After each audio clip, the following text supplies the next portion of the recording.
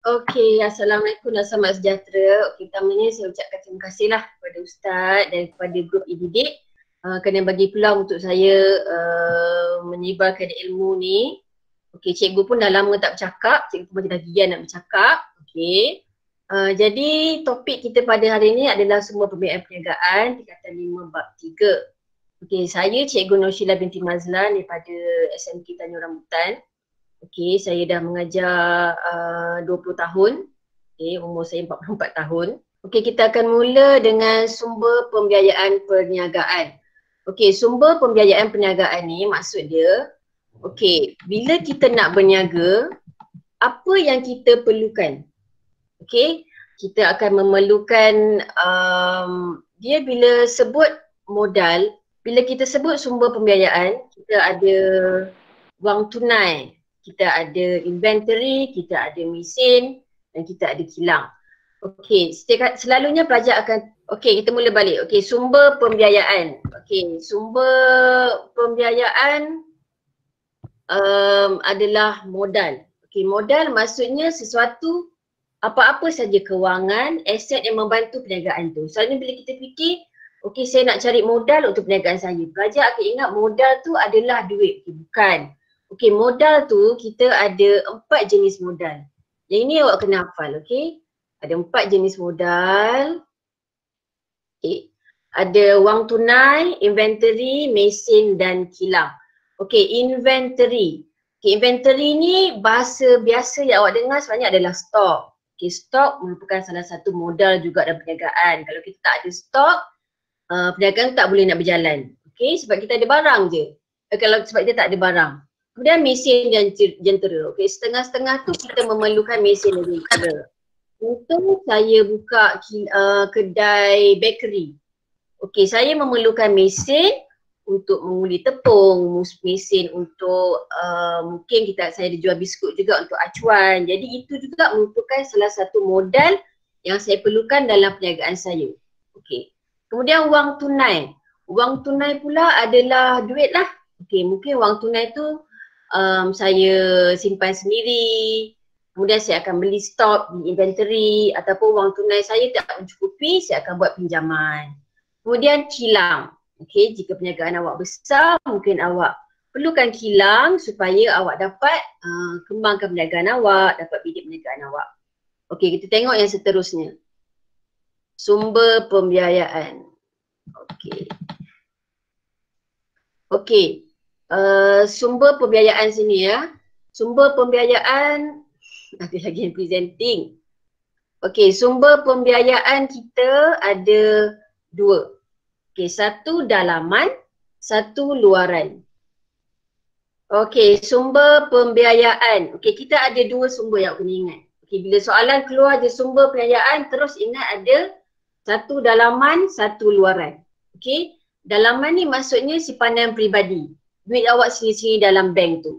Okey, mungkin awak nak buka perniagaan yang kecil.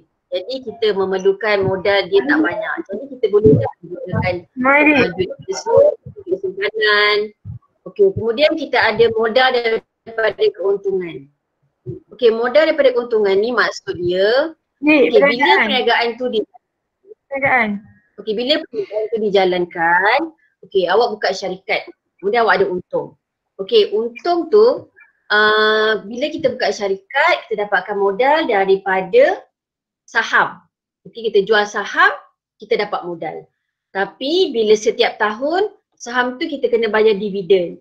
Bila modal daripada keuntungan ni maksudnya, duit dividen yang ada tu kita simpan sikit. Separuh kita bagi pada orang yang bagi beli saham kita, separuh lagi kita simpan untuk roll. Ha, itu maksudnya modal dari keuntungan. Okey, sumber pembiayaan luaran pula. Okey, bank dan institusi kewangan. Kemudian ada agensi kerajaan. Okey, bank dan institusi kewangan. Okey, yang itu maknanya bukan kerajaan lah. Kita ada apa? Maybank, kita ada Public Bank, kita ada CIMB Bank. Okey. Dia bank-bank ni pun sebenarnya ada banyak jenis tau. Kita ada kita CIMB. Kita ada finance, kita ada merchant, kita ada konvensional yang ni. Yang itu nanti kita, uh, kita akan tengok kat mana perbezaan dia. Okey, uh, bank pusat awak tak boleh minta pinjaman eh. Ha, bank pusat dia hanya apa? Apa peranan bank pusat? Awak belajar masa form berapa ni? Form 4. Okey, bank pusat dia lebih kepada apa? Uh, memastikan uh, keadaan ekonomi itu okey. Kemudian uh, kestabilan wang tu terjamin. Dia tak ada kena mengena tau. Awak tak boleh kaitkan nak buat sumber pembiayaan ni daripada bank pusat. No. Okey, mengenai ekonomi betul. Uh, kemudian agensi kerajaan pula. Agensi kerajaan ni okey sesetengah peniaga dia tak boleh minta pinjaman dekat bank biasa. Mungkin dia tak ada cagaran. Mungkin dia punya uh, dia baru nak bina dan dia masih tak tetap, tak stabil perniagaan. Jadi uh, bank susah nak bagi uh, kelulusan. Uh, alternatifnya awak pergi dekat kerajaan lah, agensi kerajaan. Itu pun nanti saya akan terangkanlah satu-satu macam mana.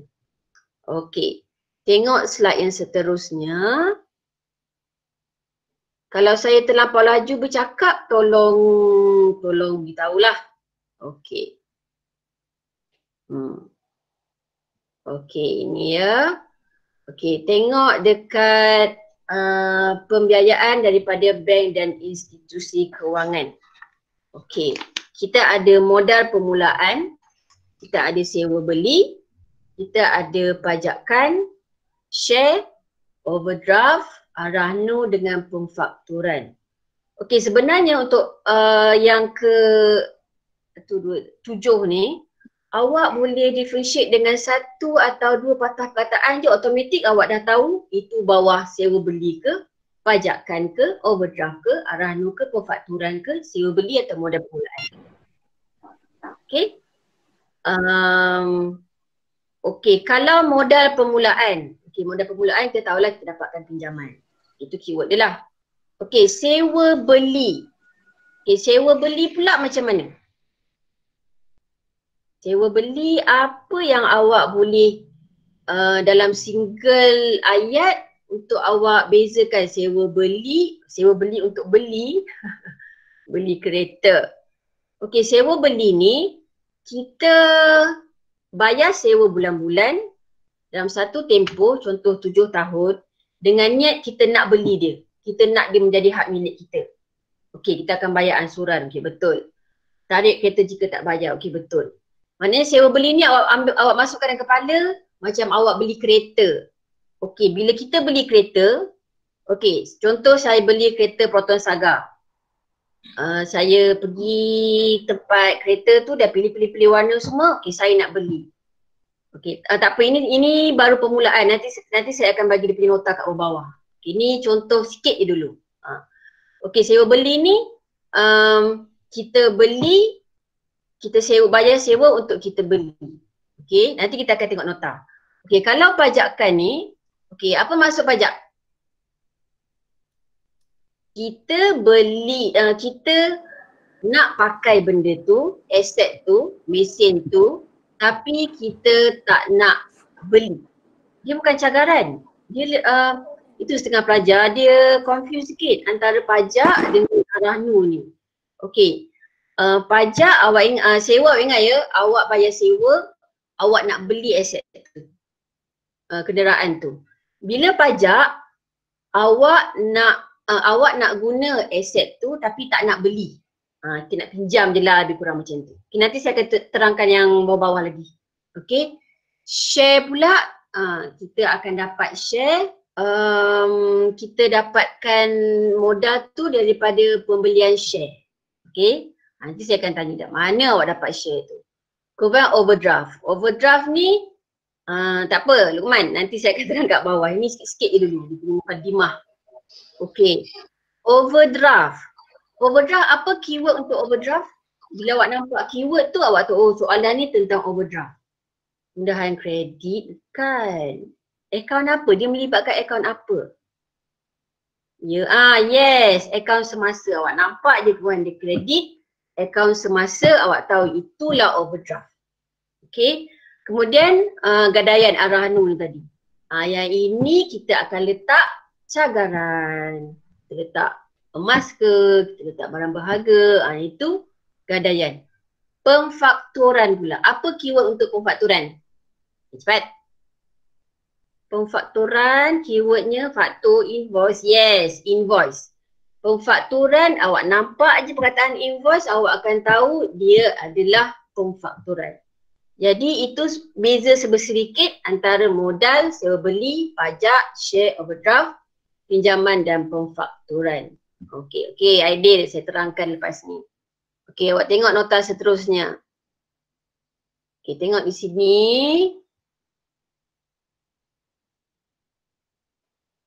Okey. Okey, modal permulaan. Okey, modal permulaan diberikan kepada usahawan untuk memulakan perniagaan. Okey. Uh, berbentuk pinjaman jangka pendek, jangka panjang dan pinjaman bercagaran. Okey, yang ini berbeza ya cagar yang tadi yang arwah itu di bawah Islamik. Uh, yang ini uh, bawah bank biasa.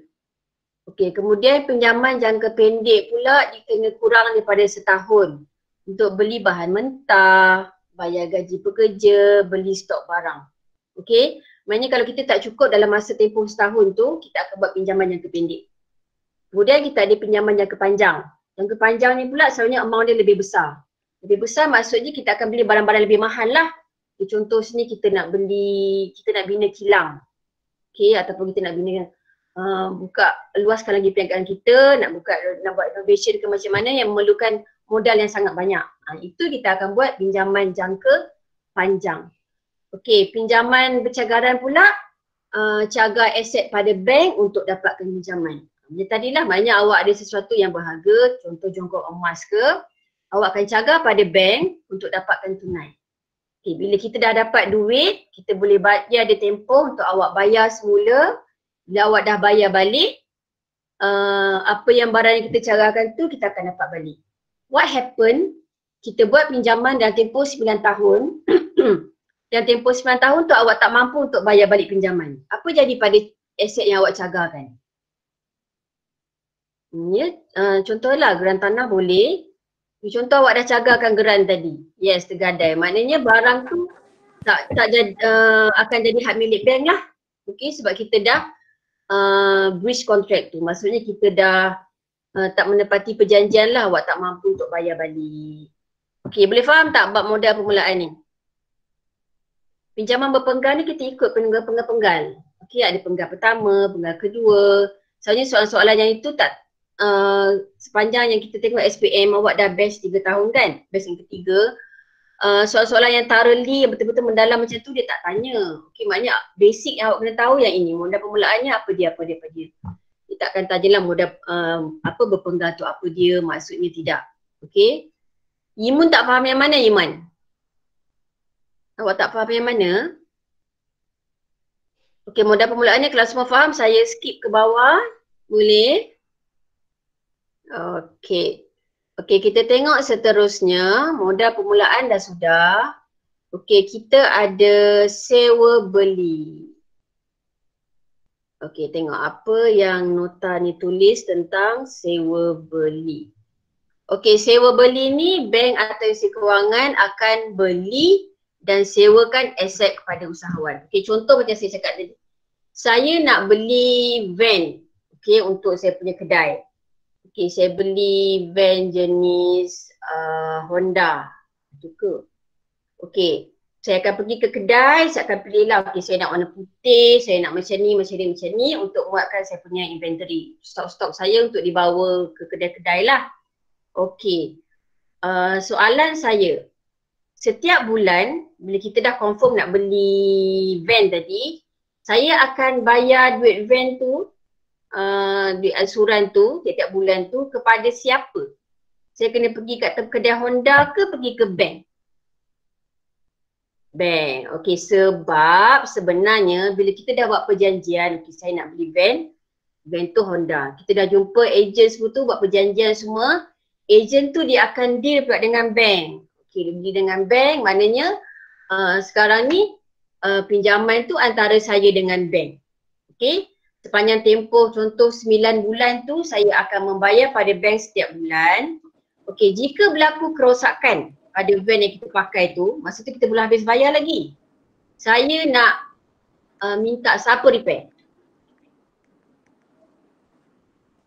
Bank repair? Honda? No. Okay, awak ingat yang sewa beli, kita bayar sewa, hak milik tu pada siapa sekarang ni? Uh, kita punya surat kereta tu ada siapa pegang? Bank pegang tau. Bila sewa beli, hak milik masih pada bank. Lagi kita boleh habis bayar.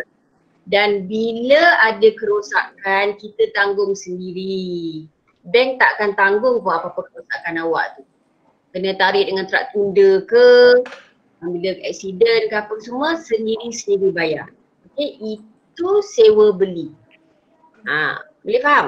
Ismail, baru faham ke? Ha, kita baiki sendiri ya awak. Jangan kata, okay uh, kereta rosak, okay, okay, pergi hantar kat bank. Tak payah buat apa no. Kita sendiri kena repair. Itu beli. Okay, selagi barang belum habis bayar, ini pada bank. Tapi apa-apa yang terjadi pada kereta tu, kita yang bertanggungjawab. Kita kena hantar repair. Okay, uh, bank tak repair kereta, kita yang kena hantar. Uh, kita bayar sendiri dan tanggungjawab nak membayar uh, workshop tu semua tu kita. Bayarlah okay. Kalau dah habis bayar, maknanya automatik um, geran kereta tu akan dapat pada kita. Dia jadi hak kita. Maknanya kita punya perjanjian sewa beli tu dah habis. Okay? Boleh? Hmm. Okay, kita masuk yang ketiga pula. Sewa beli sudah. Okay. Kemudian kita tengok pajakan. Okay, ni yang pelajar selalu confuse. Okay. Okay lah tak guna. Okay, tengok pajakan. Okay, usahawan gunakan aset untuk satu tempoh tertentu dengan cara bunga daripada bank ataupun syarikat pajakan. Okay. Kemudian pihak bank ialah pemilik aset, kepala usahawan ialah penyewa. Sewa dibayar sepanjang tempoh pajakan. Contohnya nak aset dia tapak kilang, mesin dan jentera berat. Haa, dengar suara budak anak siapa tu, tolong.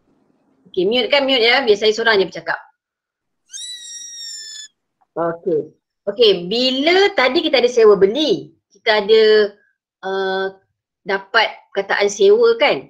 Bila pajak ni pun kita ada perkataan sewa juga. Jadinya awak jangan confuse. Bila sewa beli, awak ingat je. Kita nak beli barang tu. Tapi kita bayar sewa sikit-sikit sampai habis. Bila pajakkan, kita tak nak beli barang tu, kita bayar sewa sepanjang kita nak guna. Okey, contoh um, saya buka kedai photostat. Okey, saya punya modal saya sikit. Okey, saya boleh renovate kedai, kemudian beli kertas apa semua tu tapi mesin saya tak cukup duit untuk beli mesin. Okey, jadinya saya akan pergi ke bank ataupun pergi ke syarikat pajakan.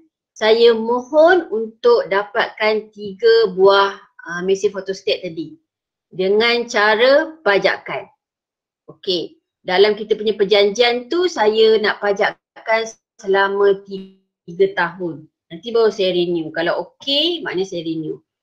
Okey, maknanya dalam tempoh tiga tahun tu kita bayar sewa je dekat syarikat pajakan. Ah, jika berlaku kerosakan, syarikat pajakan atau bank tu yang akan bayar. Okey, contoh mesin saya tadi ada tiga kan? Kemudian satu rosak. Yang satu rosak tu saya akan pulangkan balik pada syarikat pajakan dia akan ganti yang baru. Ha, tu yang syoknya pajakan. Cumanya ha, kita tak payah beli mesin.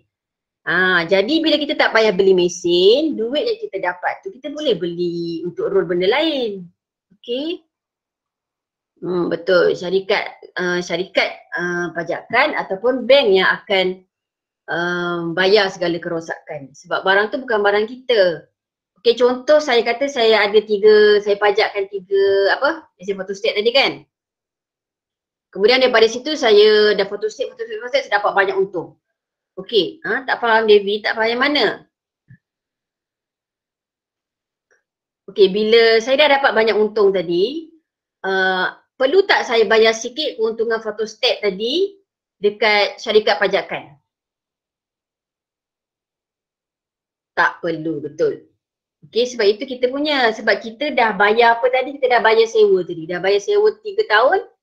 Okey, lepas tu saya kata, okey, bidang tempoh tiga tahun tu saya rasa mesin ni banyak rosak.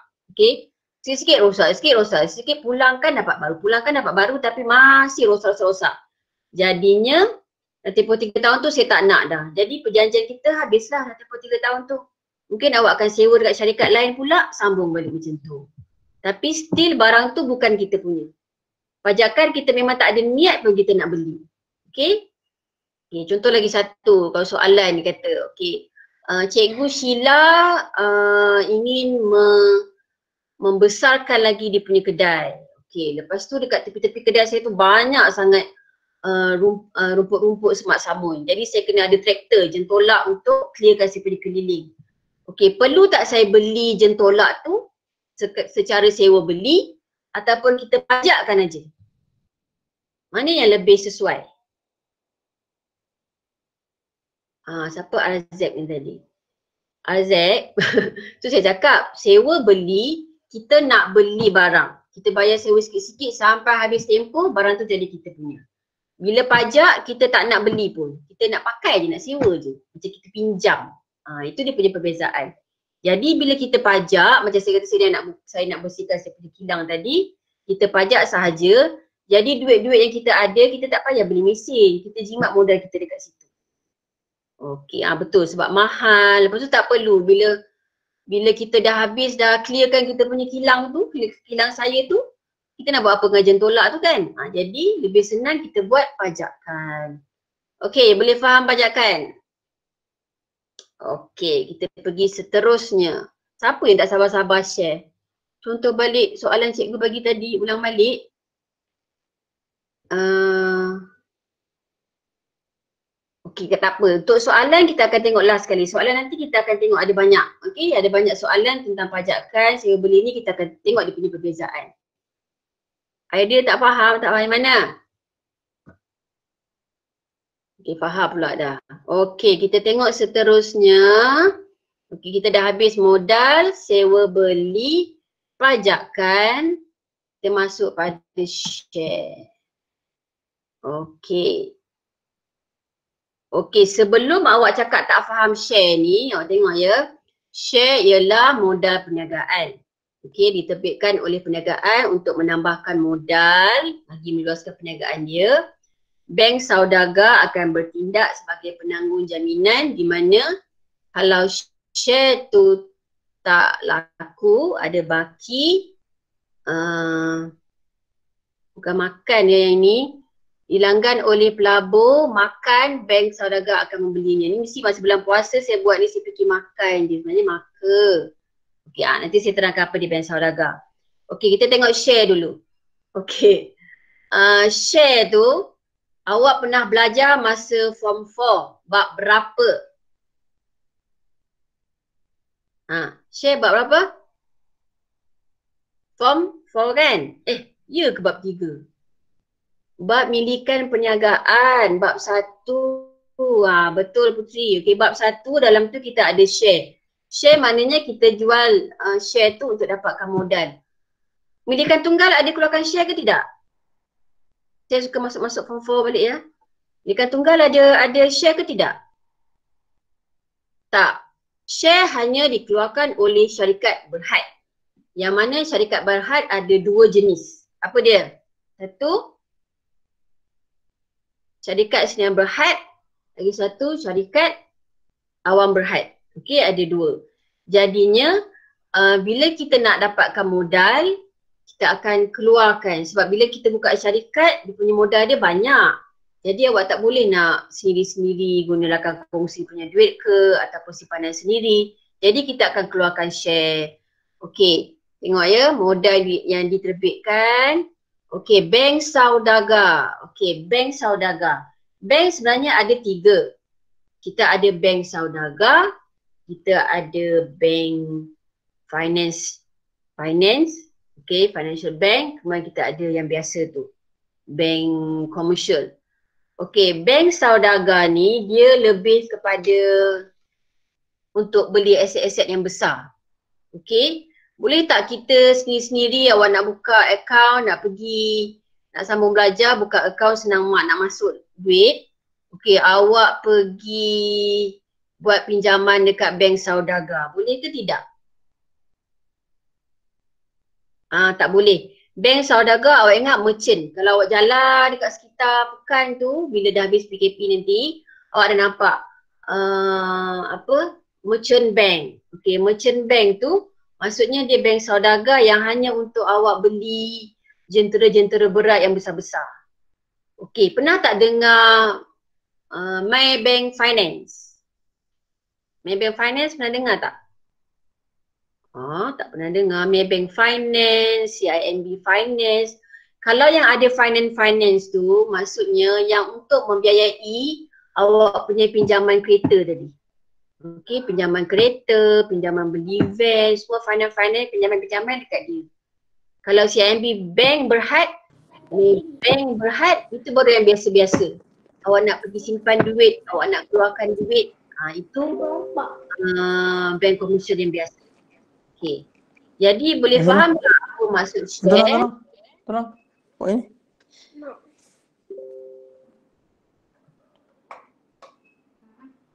Uh, uh, macam tu lah ejaan finance. Okay boleh faham ya, kalau boleh faham saya akan sambung bawahnya pula. Uh, nota dia yang ini nanti insyaAllah saya akan bagi pada awak punya cikgu lah. Kita tengok macam mana. Okay setelah share, habis share, kita tengok pada overdraft. Okay, overdraft ni saya suka sangat dia. Okay, overdraft untuk apa? Hanya kepada pemegang akaun apa? Yes, akaun semasa. Okey, akaun yang kita cucuk-cucuk bank tu akaun apa? Awak pergi bank, awak tekan-tekan nak keluarkan duit. Itu akaun apa? Akaun harian, akaun simpanan. Okey. Yang akaun biasa tu, kita nama nama dia akaun simpanan. Bila kita uh, berkaitan dengan overdraft ni adalah akaun semasa.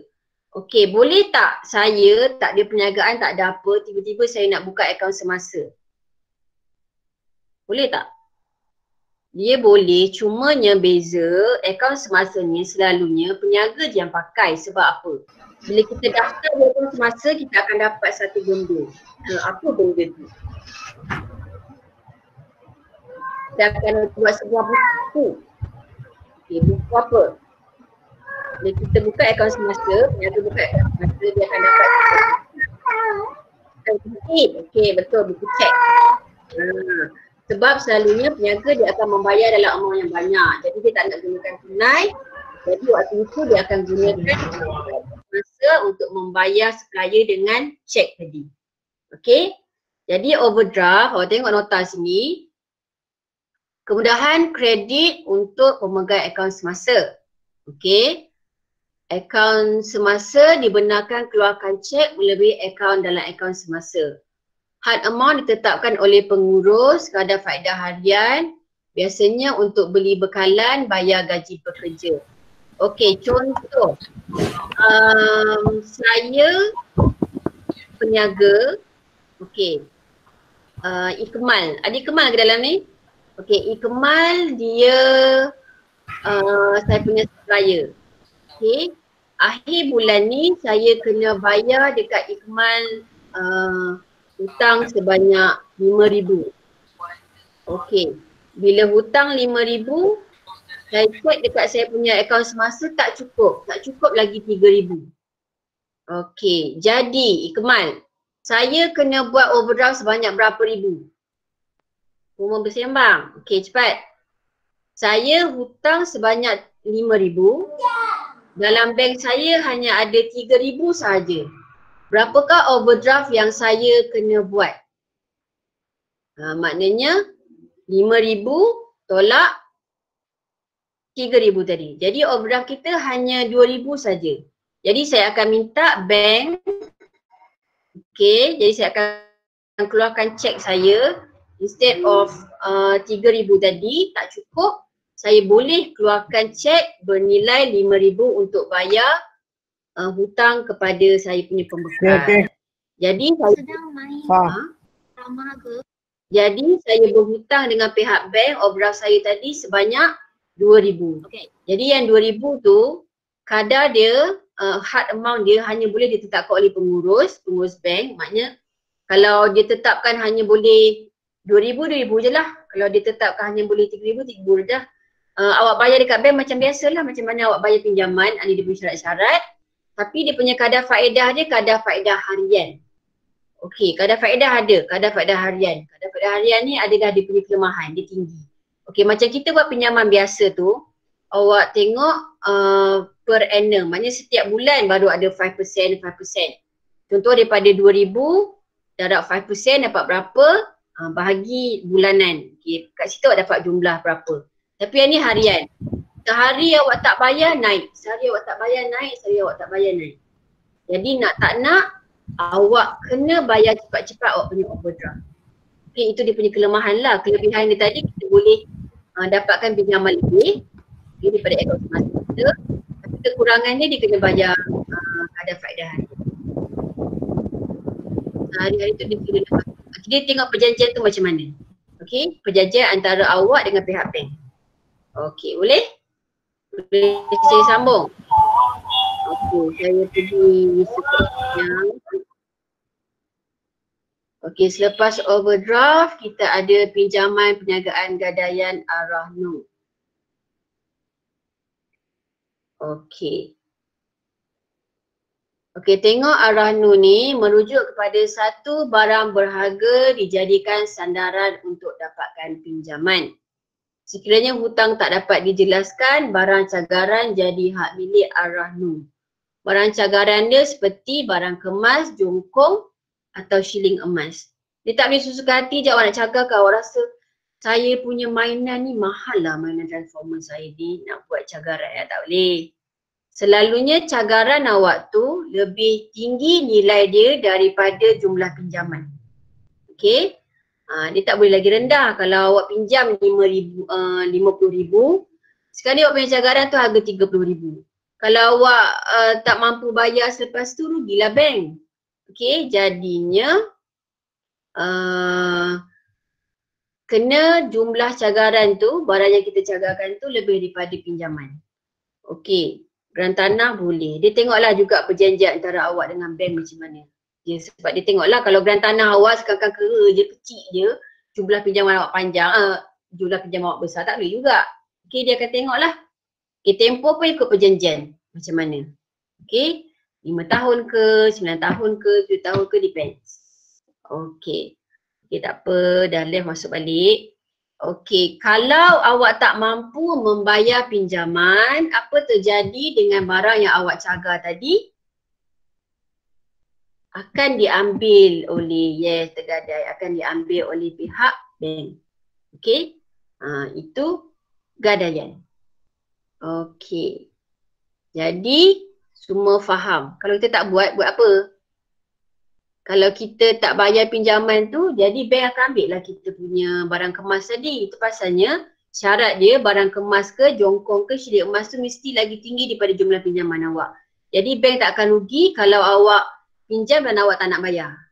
Okay, ada had tu pun terpulang pada pihak bank macam mana. Okay.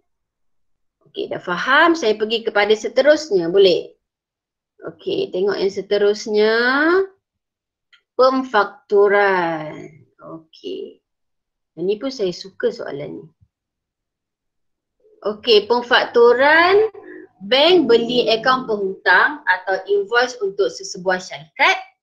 Bank beli invoice pada harga diskaun. Bank ambil alih kutip hutang dengan jumlah penuh. Okay, apa dia invoice? Okay, type tag jawapan. Apa dia invoice? Ah, baru tanya invoice apa. Okay, orang lain tahu tak invoice apa? Hutang. Okay, lain. Belian secara hutang. Okay. Okay, contoh bila awak pergi pasar raya. Awak membayar dengan cash atau membayar kad kredit. Kemudian uh, cash tu dah key in, key in, key in, awak dapat satu kertas panjang. Nama kertas tu apa? receipt bagus. Receipt kita dapat bila kita beli barang kita bayar secara tunai. Okay, kad kredit pun kita dianggap dalam bayaran tunai ya sebab bila awak swipe the card tu automatik awak uh, dah berhutang dengan pihak bank. Okay, bila invoice, bila kita beli barang secara hutang ataupun secara kredit, kredit dan hutang tu sama. Uh, bila kita beli secara hutang ni kita akan dapat invoice. Okay, macam mana pemfakturan ni berlaku? Contoh, um, Alia hutang dengan Cikgu Sheila. Okay, uh, berapa ribu nak buat. Okay, kita ambil tiga puluh ribu. Okay, Alia hutang dengan Cikgu Sheila tiga puluh ribu. Oh, lima ribu ya, tiga puluh ribu lah. Masih besar sikit. Okay, kemudian tiap-tiap bulan sepatutnya Alia ni kena bayar tiga puluh ribu, tiga puluh ribu kat saya. Tapi setiap bulan tu saya tak pernah dapat. Lima ribu saya tak dapat, sepuluh ribu tak dapat, tiga puluh ribu pun saya tak dapat. Jadi bila orang berhutang dengan kita, kita tak boleh nak roll balik modal tu. Duit kita sepatutnya ada banyak, sepatutnya sebelum saya ada RM30,000.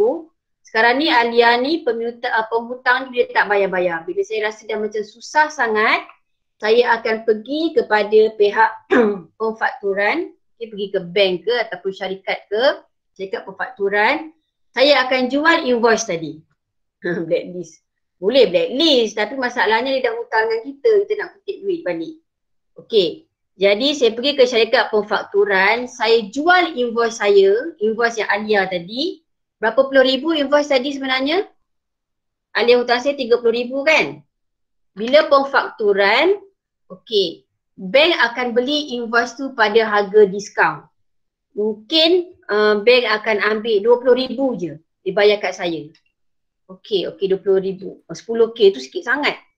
Okey, RM20,000 lah contoh. Jadi sekarang ni saya dah lepas. Okey, tak apalah. Saya mungkin rugi. Oh, tak nak lah. RM25,000. Okey, saya jual dekat bank invoice Alia tu berharga RM25,000. Okey. Saya rugi berapa ribu? Sepatutnya saya kutip dekat Alia RM30,000. Tapi saya dah fed up, tak nak bayar, tak nak bayar uh, saya jual dekat pemfakturan dengan harga diskaun RM25,000. Jadi saya akan kurang RM5,000. Tapi masih okey sebabnya saya masih dapat duit saya RM25,000 daripada saya tak dapat apa-apa langsung. Ha, nampak tak kat situ? Okey, lepas ni siapa yang pergi kerja Alia? Ada kena dengan saya lagi ke tidak? Ah ha, betul. Alia kena bayar balik dekat uh, syarikat pemfakturan ataupun bank yang beli invoice tadi. Alia kena bayar berapa dekat syarikat pemfakturan? Alia kena bayar masih amount RM30,000 tadi. Bank dah bayar saya RM25,000. Alia bayar dekat bank RM30,000. Uh, bank atau syarikat pemfakturan tu dia dapat duit berapa? Uh, dia dapat RM5K.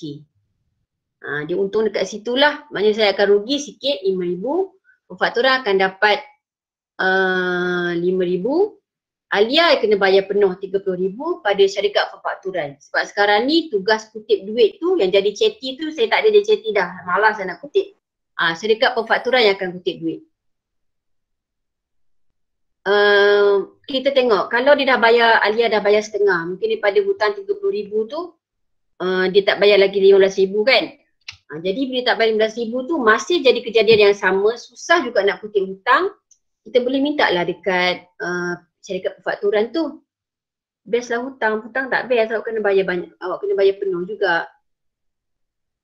Syarikat pemfakturan tu dia bayar cash ke, tengoklah dia nak bayar, dia akan bayar full amount pada kita. Tengok perjanjian. Cikgu contoh lain tak faham. Faham? Okey sekejap. Ulang balik. Pemf- uh, apa jadi kalau Alia gagal balik pinjaman bank, okey selalunya bila kita gagal dengan pihak bank, dia akan ada uh, undang-undang pula. Mungkin Alia akan dikenakan mahkamah, okey dibawa ke mahkamah. Invoice bukan receipt. Receipt kalau kita beli barang secara tunai. Invoice pula kita akan dapat kertas, dokumen bila kita beli secara hutang. Itu beza invoice dengan cek cek pula kita gunakan untuk menggantikan wang tunai. Ha. Okey. Okey, boleh saya sambung seterusnya? Faham tak yang pemfaktoran tadi? Uh, boleh ulang lah cikgu. Ulang which one? Pemfaktoran. Okey. Okey, pemfaktoran. Satu, you kena ingat invoice. Bank akan beli invoice. Okey, invoice tu you dapat bila you beli hutang, secara hutang. Kemudian bank akan beli invoice tadi pada harga diskaun. Okey, contoh uh, A dengan B. A dia hutang B RM10,000. Okey, A hutang B RM10,000. Okey, B dia susah nak bayar hutang. Okey, bila B susah bayar hutang, A ni dia akan rugi RM10,000 lah. Okey, bila dia tak dapat RM10,000 dia, dia dah susah sangat, dia akan minta syarikat pemfakturan tolong kutip hutang dekat B. Okey, bila uh, syarikat pematuran setuju untuk kutip hutang tadi, uh, A dia akan jual invoice tu pada syarikat pemfakturan. Tapi dia kena bagi diskaun pada harga diskaun. A akan jual dekat syarikat pemfakturan pada harga RM8,000. Okey. Walaupun invoice tu bernilai RM10,000. Yang B tadi hutang RM10,000 dia dia jual dekat bank uh, RM8,000 sahaja. Okey, kemudian uh, bank akan bayar pada saya RM8,000, pada A RM8,000 tapi dia akan kutip pada B tadi masih RM10,000. Okey, jadi dekat situ yang rugi hanya A lah dia rugi sedikit RM2,000 tapi dia dapat jugalah dia punya duit RM8,000 tu daripada dia tak dapat. Okey, boleh faham? Okey, kalau faham kita pergi seterusnya. Saya ada banyak lagi ni, saya belum habis. Uh, saya ada soalan lagi lepas ni. Okey, kita tengok bantuan, okey. Kemudahan bantuan daripada kerajaan pula kita ada MARA. Ada MARA, Agrobank dan Tekun dia akan beri bantuan modal. Kemudian kita ada jaminan kredit, CGC, uh, ada geran penyelidikan. Okey, kita tengok uh, MARA. Okey, apa masuk MARA? Okey, MARA selanjutnya hanya uh, untuk Bumi Putra lah okay, untuk membangunkan usahawan menjadi inovatif. Kemudian kan dapat modal untuk memulakan perniagaan atau kembangkan perniagaan. Okay, selalunya modal memang disebabkan oleh dua perkara. Sama ada awak nak mulakan perniagaan awak ataupun awak nak kembangkan perniagaan awak. Nak nota, okey insyaAllah saya bagi dekat cikgu lah. Okey, ataupun kita tengok macam mana lah sekarang. Okey, MARA adalah Majlis Amanah Rakyat, okay, betul. Okey, dia sediakan uh, bantuan modal tadi dan dia juga sediakan ruang niaga, gerai tapak kilang, khusus latihan usahawanan. Okey, dia ada beberapa skim dia tolong hafal. Okay, yang itu, tanya soalan dia akan tanya, okay, nyatakan skim yang diberikan oleh MARA. Okey, audiens nyatakanlah. Okey, kemudian tengok kepada tabung ekonomi kumpulan usaha niaga tekun. Okey, tekun ni pula dia amalkan konsep pinjaman atas simpanan. Maksudnya pinjaman yang diberikan kepada peniaga akan diberikan sebagai modal tambahan dalam urusan perniagaan. Okey, objektif dia menawarkan modal tambahan, menggalakkan budaya menabung pada peniaga kecil. Okey, Mara dengan Tekun ni dia lebih kurang sama. Uh, siapa presenting ni? Okey, Mara dengan Tekun lebih kurang sama. Cuma Cumanya selalunya Tekun dia punya jumlah dia lebih kecil. Okey. Uh, skrin saya dah tak nampak ya. Okey, uh, dekat uh, tekun tadi pinjaman dia daripada 500 hingga 5000. Okey, dah boleh nampak dah kan? Okey, kita tengok syarikat jaminan kredit pula. Okey. Okey, syarikat jaminan kredit Malaysia dia membantu usahawan yang berdaya maju tapi tak ada cagaran. Okey, selalunya bila kita nak pergi buat pinjaman dekat bank, sebagai seorang peniaga, awak kena ada satu cagaran. Bila awak tak ada cagaran, syarikat jaminan kredit Malaysia ni dia akan bantu. Maknanya dia akan uh, bagi jamin bahawa pada bank bahawa syarikat awak, dagangan awak ni berdaya maju boleh membayar hutang pada bank. Itu tugas syarikat jaminan kredit Malaysia. Okey. Agro bank pula, agro ni awak bayar, awak nampak agro, awak terus nampak okey betul pertanian. Ha, jadi apa-apa yang berkaitan dengan pertanian awak akan pergi ke agrobank. Okey, agrobank charge dia rendah lepas awak nak beli jentera ke uh, tanah ke mesin untuk pertanian, awak boleh pergi ke Agrobank. Okey, kemudian Sains Teknologi Inovasi pula mesti untuk penyelidikan okey dalam bidang proses ataupun bidang teknologi. Okey, tengok kekuatan. Okey, kekuatan dan kelemahan. Kenapa setengah awak boleh pinjam bank, setengah tu awak tak boleh pinjam bank, awak kena pergi kepada kerajaan. Okey, tengok kekuatan sumber pembiayaan dalaman. Okey, ingat dalaman tadi ada dua, sendiri dan rizab. Okey, bila awak ada duit sendiri, maknanya urusan dia cepat. Kemudian tak melibatkan kos seperti faedah atas pinjaman. Okey, mudah, ringkas, betul. Okey, dalam periksa, walaupun memang betul jawapannya mudah, awak kena jawab ya. Uh, pinjaman, uh, kekuatan pinjaman dalaman ialah mudah diuruskan, tidak memerlukan faedah, tidak mengenakan faedah. Awak tak boleh bagi jawapan seketul je. Tiba-tiba mudah, tiba senang, tiba ringkas. Tak boleh ya, kena ada ayat. Okey. Kemudian kelemahan dia modal terhad. Suka tambah modal dalam masa yang singkat. Okey. Kemudian kekuatan sumber luaran pula yang bank tadi dengan kerajaan tadi. Uh, bank bagi tempoh bayar balik. Okey. Uh, kemudian kerajaan tak mengadakan faedah ataupun faedah dia sikit. Okey, kemudian kelemahan dia, bank perlukan penjamin. Dia nak uh, cagaran. Kalau kerajaan pula sebab dia uh, banyak membantu usahawan, jadi persaingan sikit, ramai orang nak apply. Kemungkinan uh, awak tak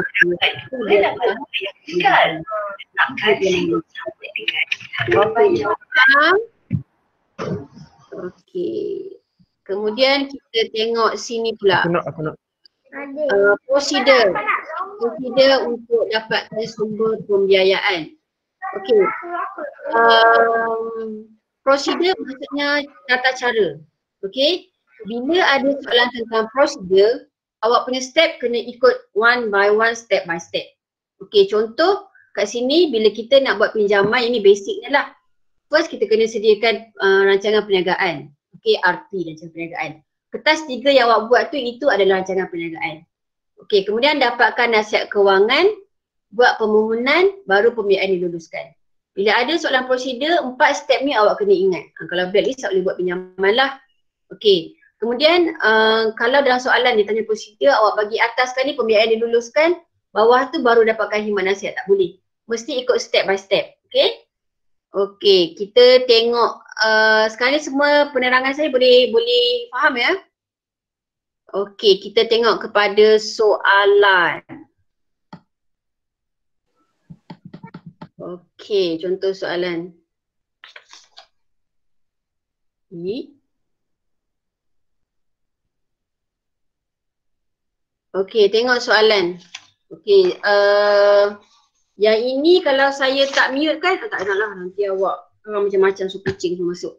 Okey tengok berkaitan dengan Encik Zehan. Okey dia nak buka mini market dengan bantuan modal daripada simpanan peribadi. Kemudian dibantu oleh isteri dia orang pekerja gaji bulanan 800 seorang. Okey kenapa Encik Zehan memilih jenis pembiayaan tersebut? Okey yang ini okey betul dalaman tapi soalan dia tak nak dia tak tanya apakah jenis dia tanya, slow sikit saya takut masa tak sempat. Okey, uh, sekarang dia tanya kenapa uh, pilih jenis pembiayaan tersebut. Okey, jadi kenapa awak pilih dalaman tadi? Tadi saya dah bagi nota kan? Okey, bila nak menjawab kepala soalan kena salin.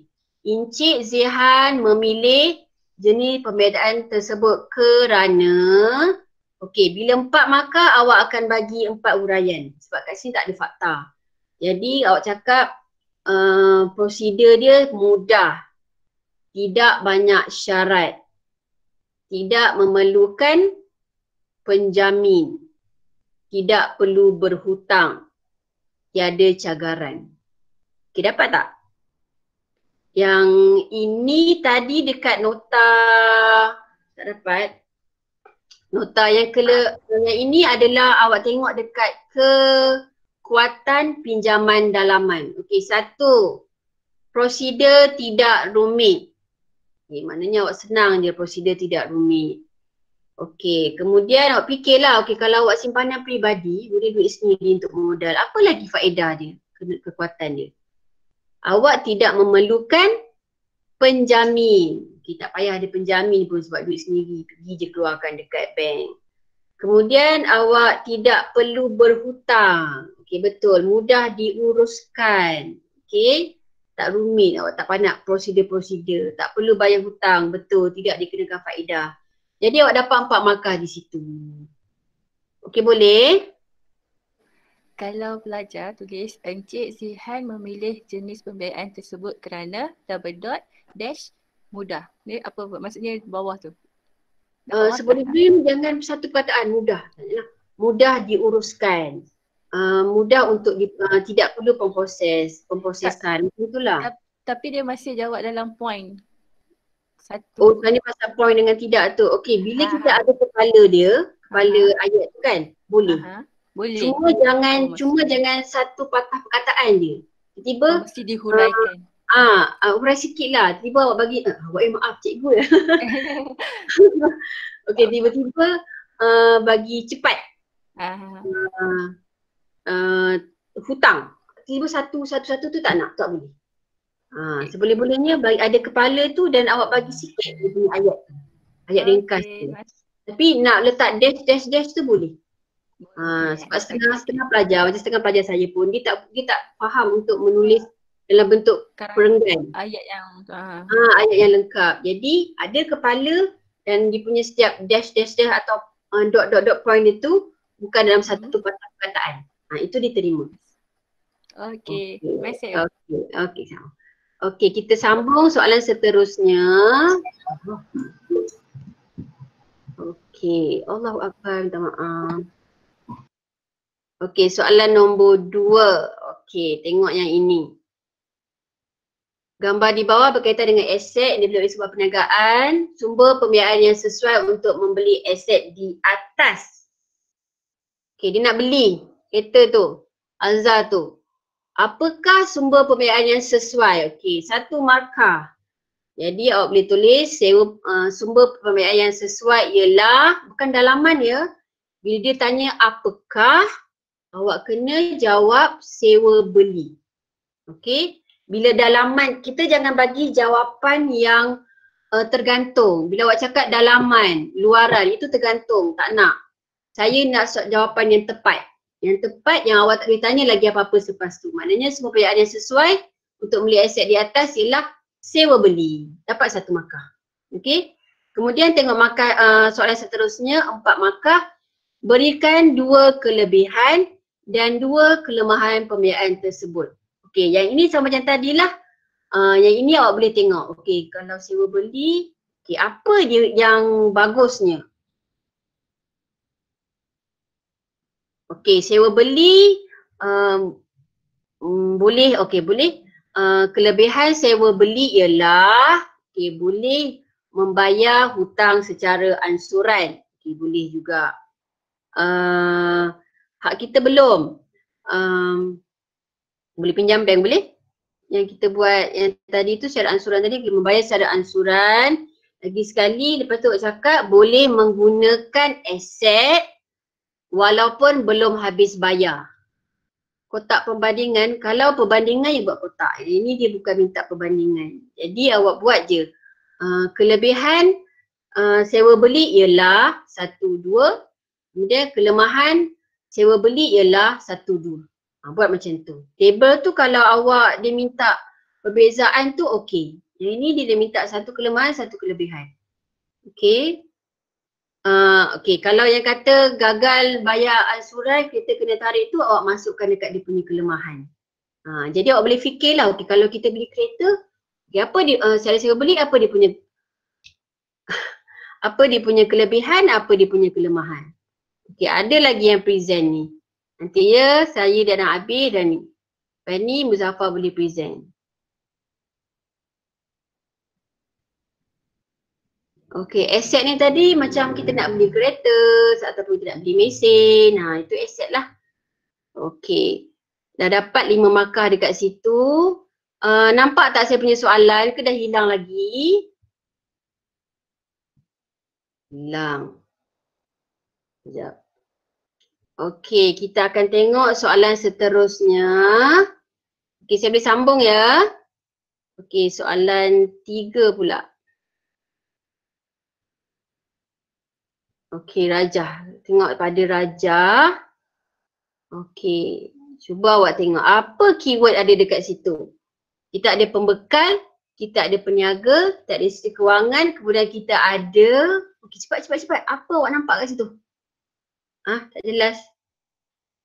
Ah, invoice. Pembekal menjual invoice. Okey, awak nampak je invoice, jual invoice terus dalam kepala awak apa? Pemfakturan. Okey, zoom. Okay, sekejap.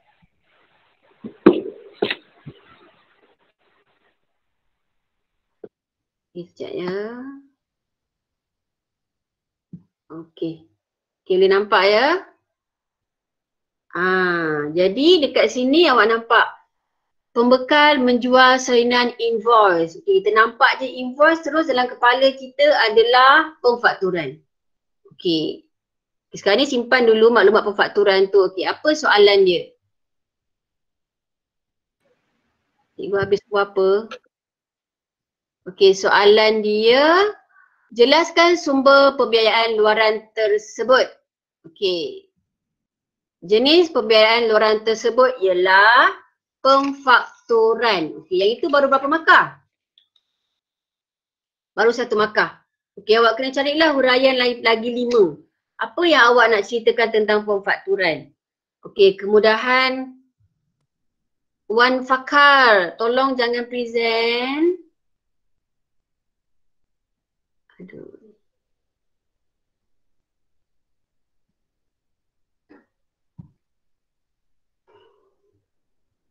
Okey, uh, markah yang pertama pemfakturan satu markah.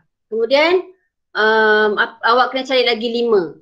Okey, uh, dikata uh, merupakan kemudahan membeli akaun penghutang satu markah. Uh, disediakan oleh pihak bank. Okey syarikat beli dis, uh, pemfaktur uh, invoice pada harga diskaun. Kemudian peniaga boleh mengelakkan masalah apa bila awak uh, buat pemfakturan ni? Boleh mengelakkan masalah hutang lapor. Okey. Dapat uh, mengatasi masalah aliran tunai peniaga.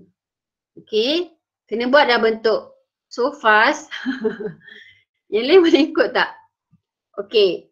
Cikgu ulang sekali. Okay, saya ulang jawapan. Uh, jawapan pertama pemfakturan. Okay, satu markah. Okay, kemudian apa dia pemfakturan? Huraian dia kemudahan membeli akaun penghutang atau invoice. Satu markah. Okay. Kemudian awak tengok je yang nota yang sebelum tadi. Apa dia pemfakturan ni? disediakan oleh pihak bank atau syarikat pemfakturan untuk sesebuah perniagaan. Okey. Kemudian syarikat pemfakturan beli invoice pada harga diskaun. Okey. Mengat- dapat mengatasi masalah aliran tunai. Maksudnya tunai awak dapat masuk dia. Kemudian dapat mengelak masalah yes hutang lapuk ha, dapat enam markah dekat situ okey boleh uh, tahun lepas kita dalam soalan SPM 2018 ada 2019 pun ada topik ni. Okey sekarang saya tunjuk. Saya bagi latihan-latihan lain dulu. Okey Raja menunjukkan satu logo organisasi. Okey tidak besar sangat Okey. Ah, awak nampak tenaga nasional berhad. Okey, jelaskan satu sumber pembiayaan luaran yang boleh digunakan oleh organisasi di atas untuk meningkatkan operasi perniagaannya. Okey, betul. Jawapan dia adalah share. Sebab dia adalah syarikat. Awak nampak tenaga nasional berhad. Ada je syarikat, eh syarikat, eh share. Okey. Tapi dekat sini dia nak berapa markah? Empat markah. Jadinya, okey betul. Keyword dia adalah berhad tu. Ha, jadinya awak beritahu sumber Pembiayaan luaran di, di atas ialah share satu markah. Kemudian awak bagilah syarikat menerbitkan share untuk mendapatkan modal. Okey. Uh, markah yang kedua. Kemudian uh, syarikat boleh menggunakan perkhidmatan bank saudagar untuk terbitkan share. Uh, kemudian share ialah modal ataupun pemilik syarikat untuk mendapatkan modal. Bagi je apa yang awak tahu tentang share tu awak bagi je tiga markah. Okay. Yang penting awak kena tahu dulu dia adalah share ke adalah pemfakturan ke apa itu benda yang awak kena faham. Okay jadi saya sambung seterusnya ya. Okay tengok latihan seterusnya. Okay ini panjang sikit.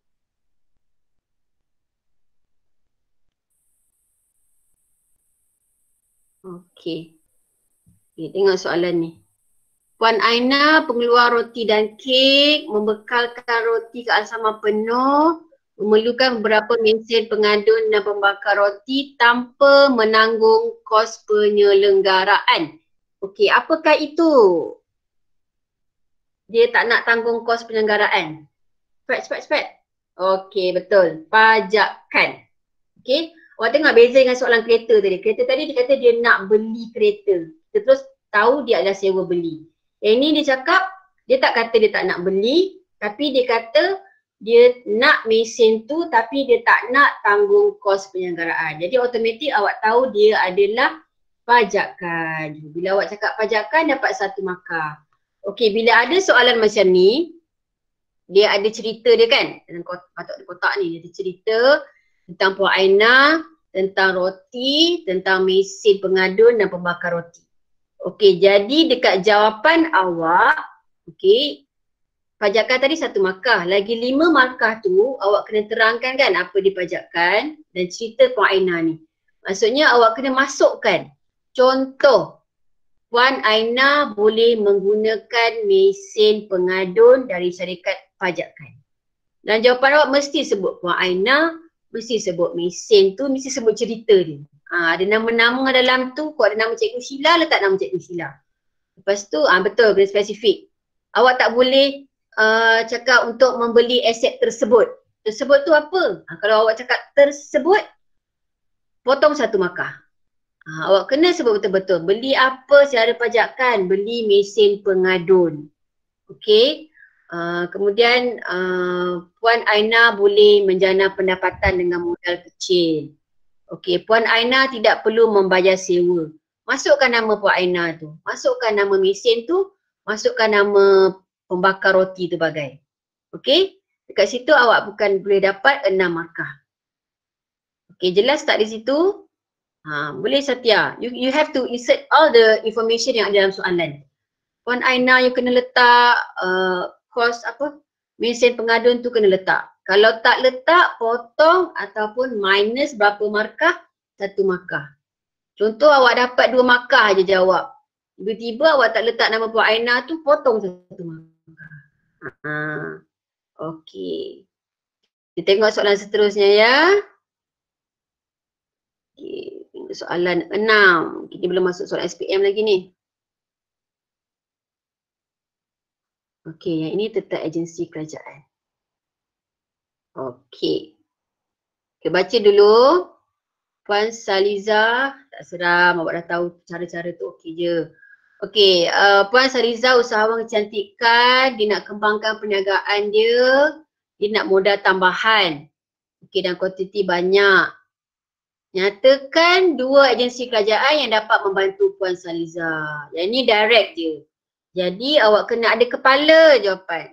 Dua agensi kerajaan yang dapat membantu Puan Saleza ialah Mara dan Tekun. Majlis Amanah Rakyat.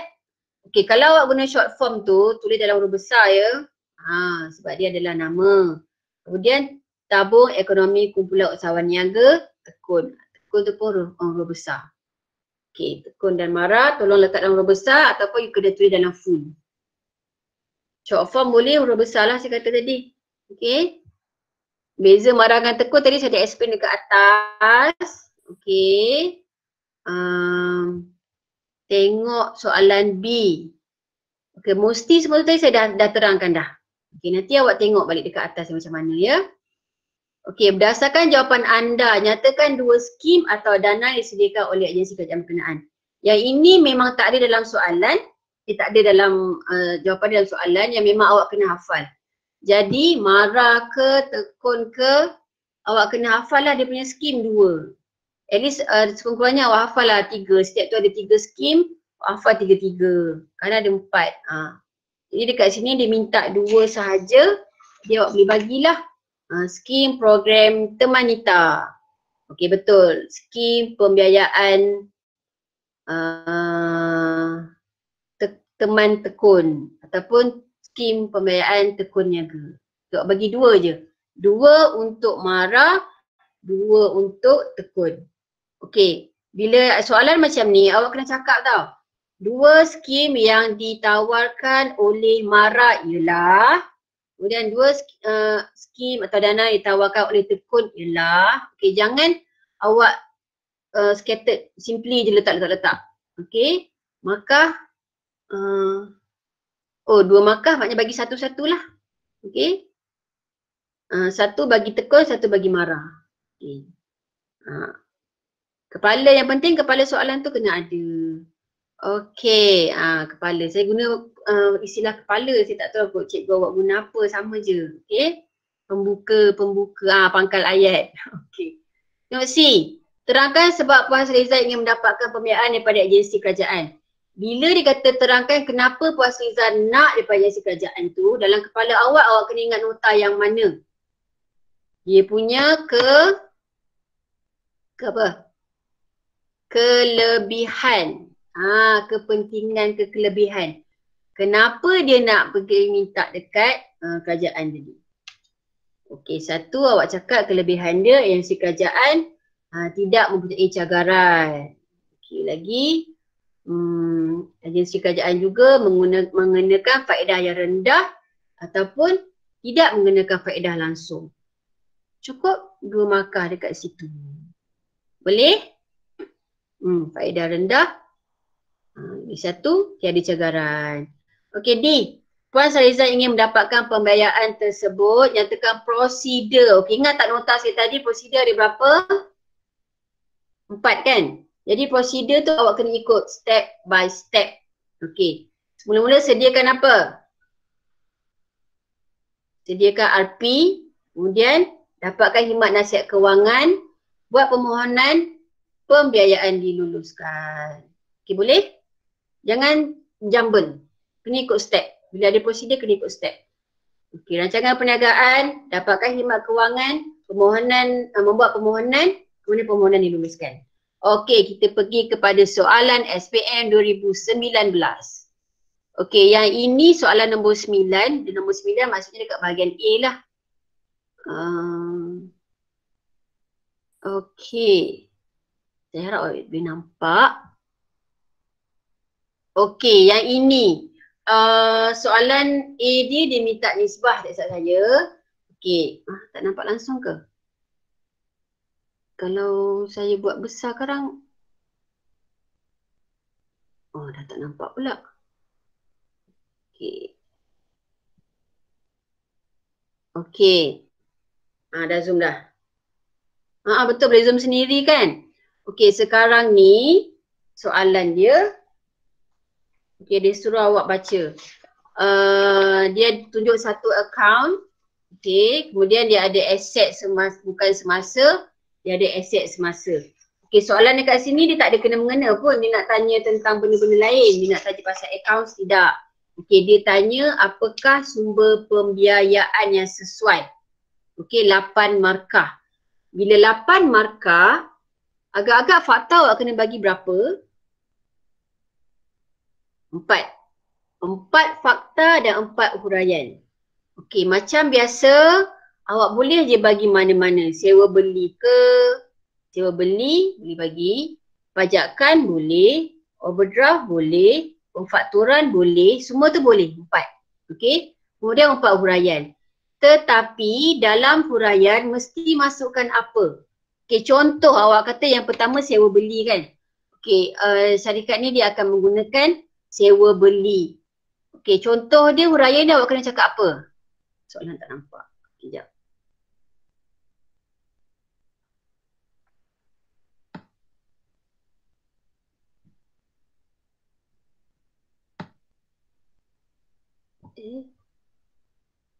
Okay, soalan dia dia nak jenis pembiayaan apa yang sesuai. Terangkan jenis pembiayaan bank untuk syarikat bagi menambah aset sedia ada.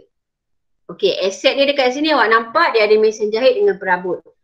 Kalau awak bagi uh, faktor dia sewa beli. Dalam jawapan awak tu awak kena bagi huraian macam mana? Bila sewa beli kita tahu okey hak milik bukan um, barang tu bukan milik kita selagi kita belum habis bayar. Awak mesti sebut, mesti masukkan mesin jahit ke ataupun perabot tadi. Kalau awak tak masukkan mesin jahit, awak tak masukkan perabot, jadinya awak akan kena potong satu markah. Okey? Seperti biasa ingat ada je cerita, ada je maklumat-maklumat dalam ni masukkan. Sebab dekat sini dia tanya Terangkan jenis pembiayaan bank untuk syarikat menambah bilangan aset sedia ada. Jadi aset dia adalah mesin jahit dan perabot.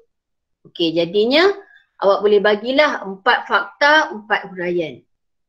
Kalau awak contoh, awak bagi uh, mesin jahit, perabot. Apa-apa contoh, selalunya markah hanya satu. Okey, awak bagilah sepuluh contoh pun markah tetap satu. At least bagi dua lah. Okay, hak milik mesin jahit, Uh, berpindah setelah ansuran dijelaskan. Ataupun awak tak nak guna mesin jahit awak guna perabot. Hak milik mesin uh, hak milik perabot uh, kepada peniaga setelah ansuran dijelaskan. Okey boleh? Ha? tak faham tak faham. Mana Faziana? Uh, soalan dia nak empat uh, lapan markah. Jadi awak bagi empat. Dalam uh, bank tadi oh cara nak buat huraian okey contoh saya bagi sewa belilah. Awak kata Cara pertama ialah sewa beli. Contoh ayat dia uh, hak milik mesin jahit berpindah kepada syarikat, syarikat berjaya itulah setelah ansuran dijelaskan. Maknanya awak dah masukkan mesin aset tadi apa? Aset dia adalah mesin jahit ataupun perabot. Kalau awak tak nak guna tu awak boleh juga ayat. Uh, dia menyewa mesin jahit tadi uh, bagi semua empat sumber luaran. Ya, memang awak kena bagi empat sumber luaran. Itu adalah empat fakta yang awak kena bagi. Tapi huraian dia tadi saya cakap mesti masukkan cerita. Cerita dia tentang aset mesin jahit ataupun perabot tadi. Boleh, pajakkan boleh? Hmm. Maknanya awak ceritalah uh, syarikat hanya menyewa perabot uh, hanya menyewa uh, perabot untuk tempoh yang tertentu. Ha, itu pajakan sebab kita sewa, kita tak nak beli kan. Ha, boleh. Tapi ayat awak tu mesti masukkan tu cerita tu. Mesin jahit tu masuk atau perabot tu masuk. Okey boleh? Ya, kena cerita. Sewa beli, cerita dia, huraian dia. Kemudian pajakan, uh, cerita dia. Cerita tu maknanya dia punya huraian lah. Okey, empat fakta, empat huraian. Okey, kita tengok soalan yang last sekali. Kena lagi soalan banyak-banyak. Okey, tengok soalan akhir. Yang ini SPM 2018. Hmm. Okey, cuba baca. tak boleh, masa kita terhad-terhad. Okey, jenis pembiayaan. Okey, syarikat percetakan global menghadapi masalah kekurangan tiga buah mesin bernilai RM75,000 untuk siapkan uh, cetakan majalah dengan segera. Okey, pihak syarikat mempertimbangkan untuk membeli mesin tersebut secara tunai atau memajak daripada syarikat pajakan. Apakah jenis pembiayaan yang sesuai dipilih oleh syarikat berikut? Berikan alasan anda. Sekarang ni bila soalan dikata atau, maksudnya awak kena soalan macam ni kalau siap tahu ke cikgu? Oh, saya pun tak tahulah sebab saya bukan buat soalan. Yang pentingnya masa tahun lepas soalan yang tadi yang pasal empat fakta empat huraian kemudian ada yang ini. Ha, dia pilihan untuk user. Dia ada pilihan kan bahagian A ada pilihan, bahagian B ada pilihan. Tapi kalau awak rasa topik ni senang, tolonglah pilih topik ni. Macam tahun lepas markah dia 8 kan, banyak dekat situ. Okay, jadi yang ini mana-mana pun boleh. Sebab dia kata sama ada secara tunai atau pajak. Kalau awak kata pajak, awak bagilah dia punya kelebihan uh, kelebihan pajakan tu. Kalau awak kata tunai, awak kena bagi uh, apa kelebihan tunai. Mana-mana pun boleh. Betul. Satu fakta, tiga huraian. Terima kasih Cik Rosna. Uh. Bila soalan dia kata uh, yang mana satu, maknanya dua-dua jawapan awak boleh bagi. Ha, tapi awak tengoklah markah empat kan. Satu fakta, tiga huraian. Kalau dia tulis atau kenapa, macam mana? uh, dua fakta boleh, okey. Uh, kalau awak bagi tunai, awak bagi, uh, awak cakap awak pilih tunai. Kemudian awak bagi tiga huraian. Lepas awak bagi pajakan, awak bagi tiga huraian. Okey, uh, pemeriksa kertas akan cek dua-dua markah. Mana yang betul, cikgu akan ambil markah yang itulah markah yang tinggi. Okey. Tapi sebenarnya bila soalan macam ni awak hanya pilih salah satu perkataan atau je lah. Bila ada perkataan atau, kata nak pertimbangkan secara tunai atau pajak. Maknanya dua-dua jawapan betul. Okey. Tunai boleh, pajak boleh. Tapi awak pilih salah satu, uh, satu huraian tiga uh, satu fakta tiga huraian. Fakta tu maksudnya apa-apa yang dalam buku teks yang bol-bol hitam tu itu fakta. Bila awak cerita apa pasal benda tu itu adalah huraian. Uh, kalau pilih tunai lepas tu huraikan kelemahan tak awak bagi sebab dia kata dia nak kelebihan. Uh, sebab takut awak confused. Awak tengok je direct soalan dia nak kelebihan awak bagi dia punya kelebihan. Okay, kelebihan. Awak ingatlah kelebihan tunai tadi. Tak nak berhutang, lebih uh, terus jadi hak milik. Uh, boleh bayar apa lebih murah ataupun jimat. Ha, itu. Okey, jadi soalan saya pun dah habis. Okey, masa pun dah nak sampai ke 12.30. Okey, kalau InsyaAllah kalau ada permintaan lagi mungkin saya akan on air lagi. InsyaAllah lah tengoklah permintaan macam mana. Kalau bagi fakta sahaja, kalau bagi fakta saja dapat satu markah je. Ha, huraian awak tak ada, tak dapat lah. Okay, jadinya uh, terima kasih pada semua.